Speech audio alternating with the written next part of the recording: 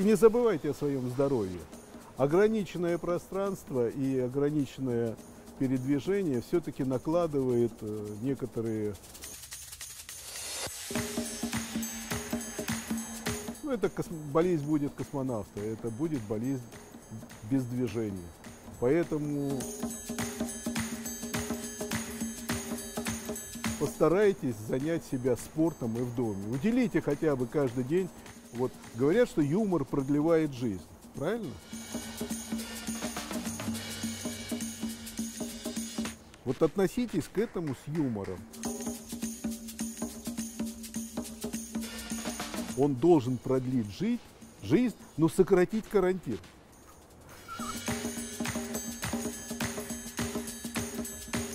Вот поймите, э, опять же, все идет от внутренней, от головы. Если вы э, будете в этом искать плохое,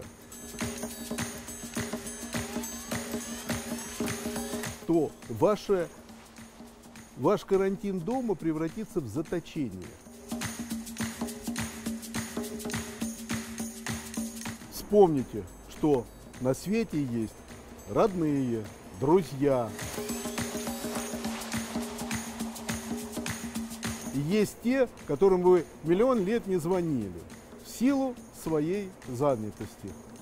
Возьмите за правило начинать с общения.